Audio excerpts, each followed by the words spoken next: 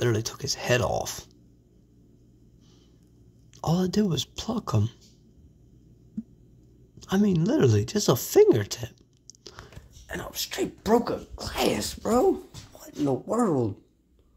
All I did was go like this. Alright, now I gotta clean up this mess. Bye.